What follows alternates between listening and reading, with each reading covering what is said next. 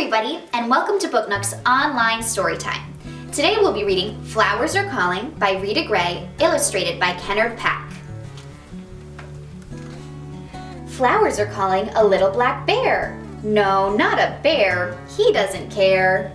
They're calling a butterfly to dip from the air. Flowers are calling a wet green frog. No, not a frog. She likes her soggy bog.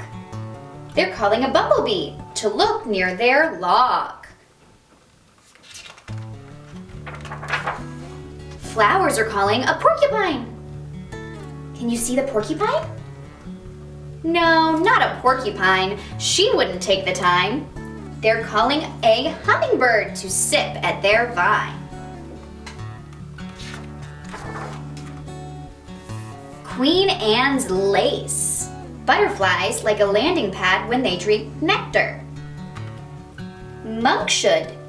Bumblebees are hefty enough to push deep inside a monkshood flower where nectar is stored. That's their snack.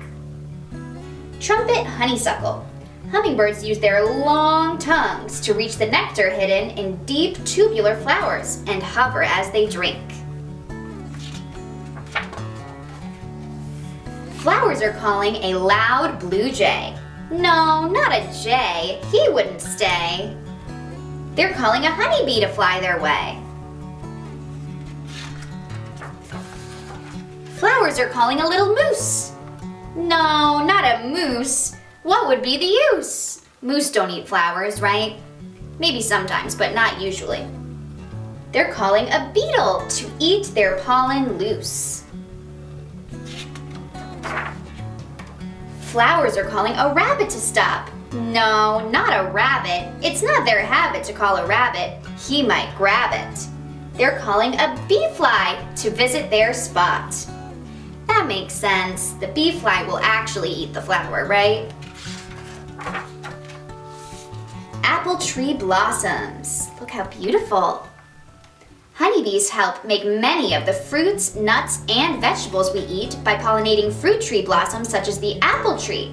There are also thousands of varieties of wild bees that help to make many of the foods we eat. Magnolia. Beetles have been visiting flowers for more than 100 million years. Wow. Violet. Bee flies look like bumblebees but have two wings instead of four. Like hummingbirds, they are able to hover their furry bodies in the air as they drink nectar. Yum. Flowers are calling a small brown snake. No, not a snake for goodness sake. They're calling a pollen wasp with nectar to take. Flowers are calling a fat raccoon. No, not a raccoon. He doesn't care for white bloom or sweet perfume.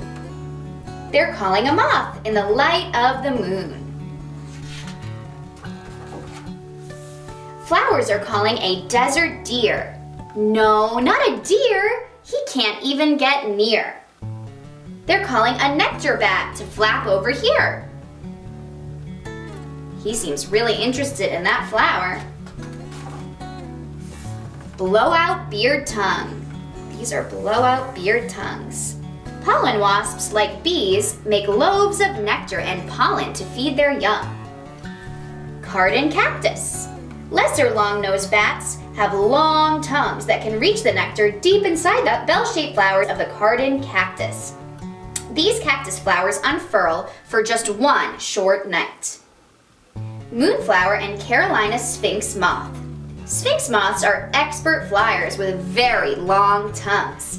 Like cardon cactus, the blooms of moonflowers open for just one night and depend on the nighttime visits of moths for pollination. Flowers are calling a busy wren. No, not a wren. He's already seen them. They're calling some children to look again. Some children are in the garden now. Bee